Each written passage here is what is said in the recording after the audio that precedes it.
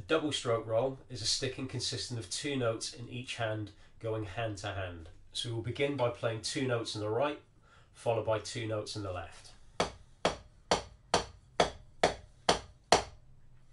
In this exercise I'm going to play the doubles at a rate of eighth notes in the first bar and in the second bar I'm going to play the doubles at a rate of 16th notes. We'll begin this at 70 beats per minute.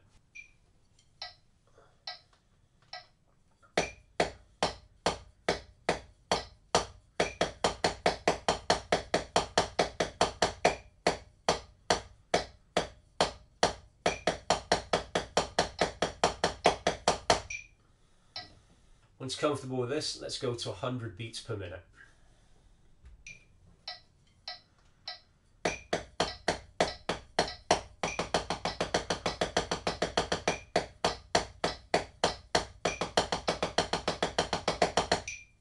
Let's increase that by another 30 BPM to 130 beats per minute.